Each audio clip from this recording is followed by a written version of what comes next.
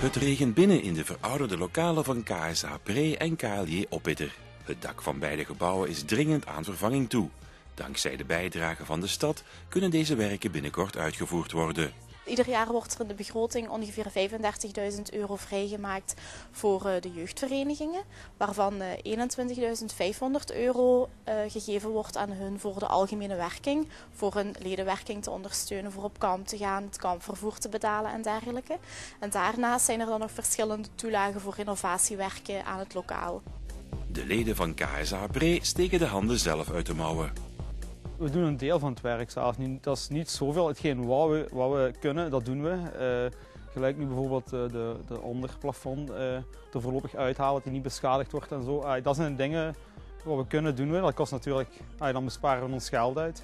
de rest, het echte professionele werk, het tak leggen, zal voor de aannemer zijn. De meisjes van Kalië Oppitter geven het werk liever uit handen.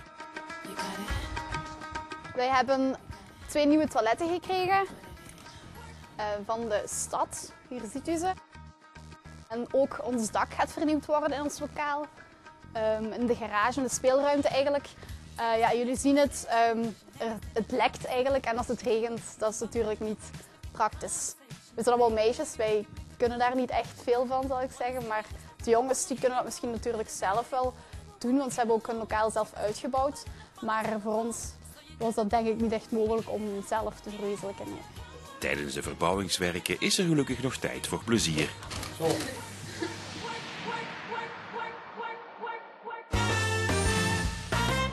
Maandag kan je in Oppeter naar het jaarlijkse Sint-Antoniusfeest. De festiviteiten starten om 10 uur met een eucharistieviering in de kapel van Solt.